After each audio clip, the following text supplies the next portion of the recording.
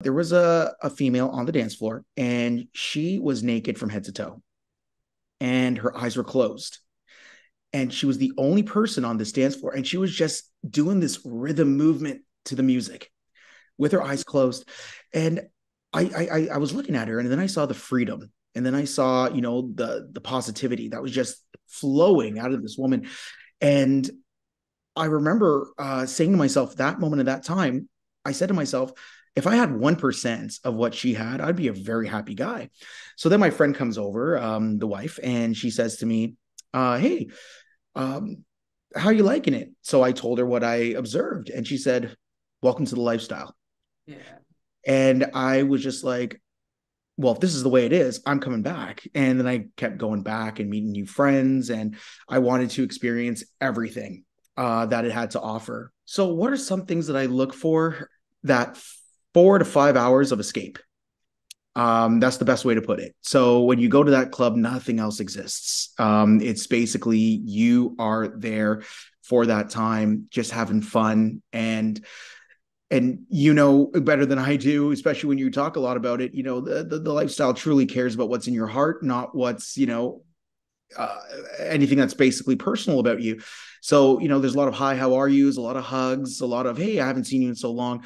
Um, that's what drives me. That's what definitely drives me. That's what I love going there.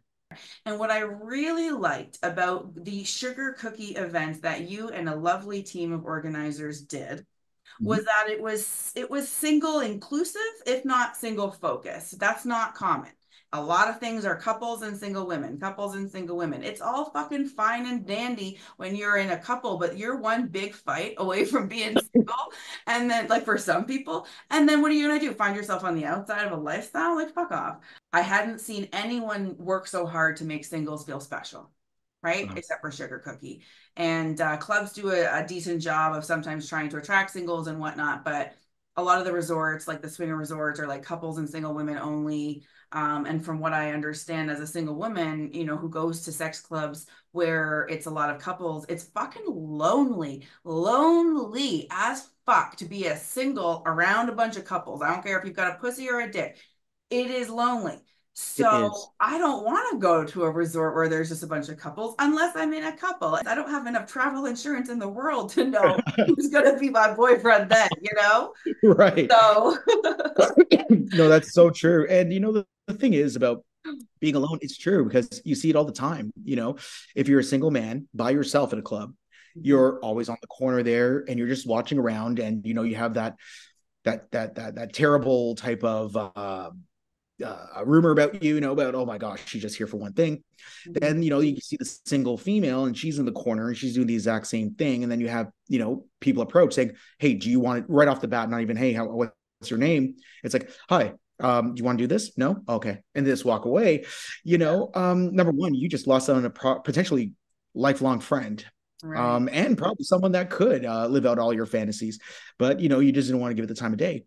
It, it can be very, very lonely and you know i'm glad you brought that up because that's something what sc wants. We don't want anybody to feel lonely you know? I do know people who showed up there alone were nervous uh, mm-hmm. felt they couldn't miss that opportunity.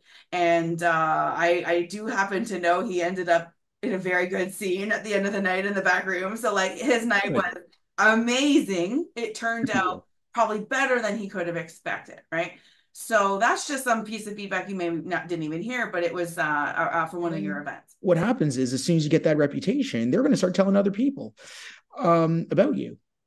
The community is small, like it or not, you know, and people do talk, and people like to protect each other.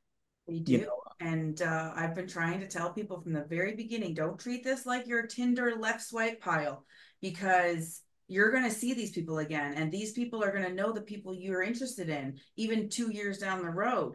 Right. so the impression the reputation is everything. It's your only currency. And if somebody for example in this lifestyle was outed as being dangerous for the lifestyle for example if they were having passing along a disease or something whatever it would be to protect people that we would know and we would isolate that situation. So it's one of those things where you do have one shot to present yourself in this lifestyle for all it's worth. Exactly. be careful who you hurt. Be careful what drama you cause. No drama, turn the dial right down, right? um, because you need to coexist in a small kind of lifestyle aquarium, so to speak, of all these people. And uh, I've run into many people many more times when I hoped mm-hmm. to never see them again. Okay. So it's just one of those things where you've got to be able to remember that your impression you're making, yeah, it might not go well. You might not want to fuck them, but you should still be nice and you should still be friendly because that person might then be your network connection to somebody you do want to fuck two weeks later, right? So, yeah, good advice, Jason. Absolutely. And you know what? There's nothing wrong with meeting some of the best friends you may have for the rest of your life. I know for a fact, and I can say this, I am living proof of that. This has been just a very small sample of a 58 minute interview with Jason RD on episode 49 of Sex and Swinging with Toronto Unicorn podcast, available everywhere you get your podcasts. Go to TorontoUnicorn.com for all links. You can even listen to the podcast there.